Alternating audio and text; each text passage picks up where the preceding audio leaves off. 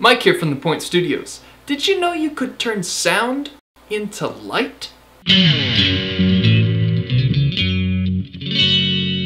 The process is called sonoluminescence. It means sound into light, and it takes place in bubbles. Or, or bubbles. Just really small bubbles that are made by cavitation. Cavitation is when you violently tear apart a fluid such as water, creating a cavity, or air bubble. Wait, wait, air bubble? Where'd the air come from? We're underwater. Shouldn't that be a vacuum? That is an excellent question. So let's assume we have a vacuum bubble in water.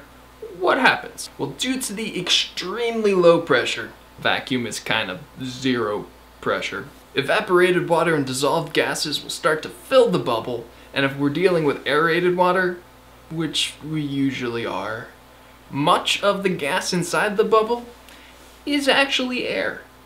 Dissolved air fills the bubble while it's underwater. This is kind of crazy, but it's actually true. Now, cavitation bubbles tend to be extremely unstable. A low pressure pocket surrounded by much higher pressures is kind of like sitting between two rather large individuals on an airplane. Bubbles collapse inwardly very quickly, often violently, which can cause some nasty damage to machinery. But under the right conditions, a bubble can collapse so rapidly that the vapor inside heats up to tens of thousands of degrees and lets off a burst of light! And this is where we have sonoluminescence. Large pressure waves, sound, literally tearing apart liquid water and collapsing so violently it gets hot enough to produce light.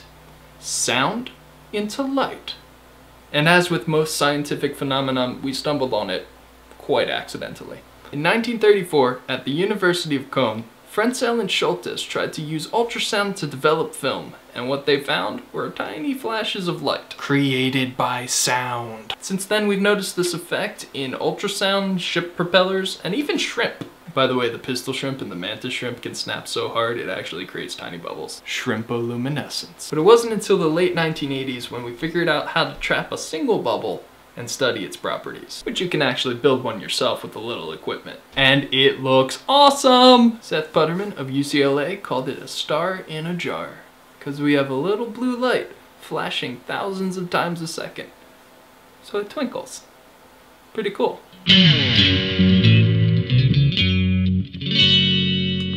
Thanks for watching this episode of Acoustics. If you'd like to see more sound and vibration science videos, please subscribe. I'll try to get out quite a bit more than I have been in the past few months.